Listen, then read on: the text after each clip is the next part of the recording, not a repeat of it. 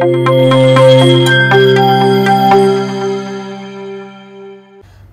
to Sea Lord News. My name is Ria Kumari and you're watching Bollywood News, where you will get Bollywood's latest news. Young Lady Energy on Ascent, female draw stories wear the pants on OTT region.